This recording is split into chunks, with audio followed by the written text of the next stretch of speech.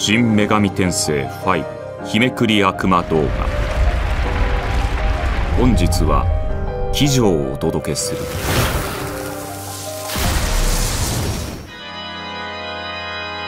マナナンガル。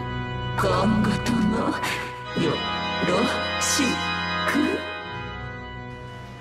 フィリピンのシキホル島に伝わる魔女。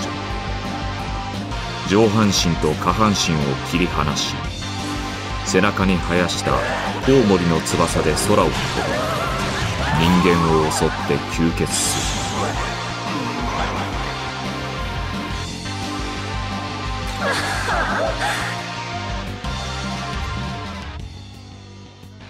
次回は女神を紹介。